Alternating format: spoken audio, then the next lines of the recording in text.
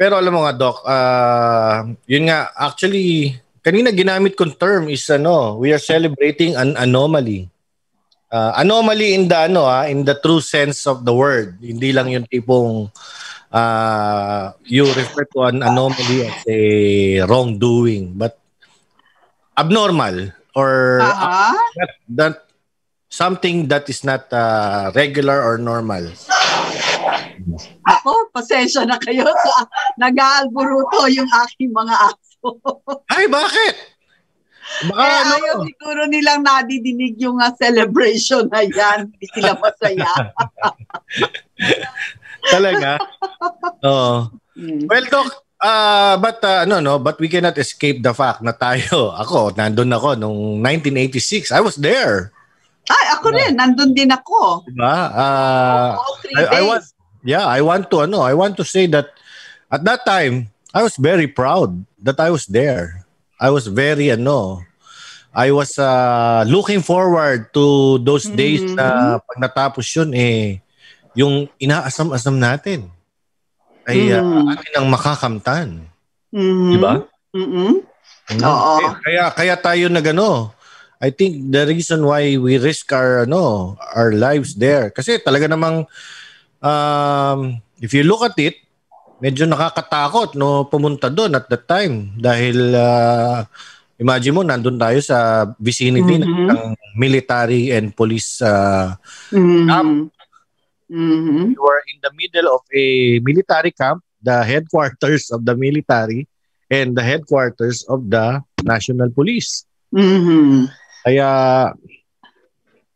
Um, alam mo, ako naman ay ano, iba ang pakiramdam ko, no? I had I had faith that the government will not harm civilians. mhm At ang atmosphere noon ay ah, parang fiesta. No, Uh, people were bringing food, they Yes. were bringing stools, they naglalatag ng banig sa Yes. daan para umupo. So I thought that uh, well, deep in my heart, I I knew that uh, this government will not harm the people. I, I you know, there may be uh, some skirmishes that uh, will be uh, happening between soldiers, the armed forces, no, on, on both sides. But and there I- were. yeah, and but I knew that uh, civilians will not be harmed. It's not like us. It's Yeah, not I, I mean- Filipinos. uh, it was really a ano no no at that time, uh, 1986 uh, after that revolution we were hailed all over the world, diba? We were really uh, the world was really celebrating with us. Oo. because oo. it was you know, it was like uh, the term was a bloodless revolution. yeah Oo. that uh, we were able to change the government uh diba uh, we were able to ano ano ba magandang term na gamitin Peace, peaceful change. Oo, we were able to Ah. extract uh, government and replace Ah. it with another one that did not uh, require war or did not Ah. require any armed conflict no Oo. Any prolonged armed conflict, Oo. any bloody uh, war. and massive no Oo. massive armed conflict na kumbaga uh, and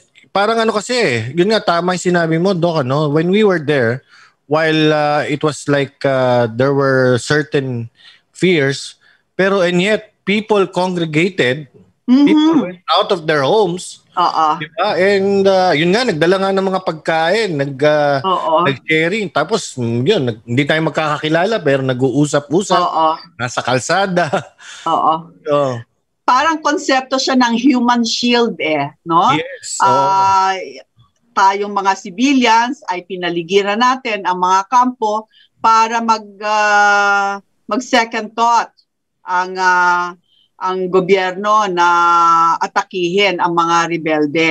Mm-mm. So we we shielded the the rebels. You know, Doc, looking back at uh, at this ano no, at this 42th event, itong EDSA 86. Mhm. Uh, we like to call it people power. But in its ano talaga, in its in its really in its proper context, is this really was this really a coup? This... Some people would say that it is. ano, no? diba? Oo. Oo.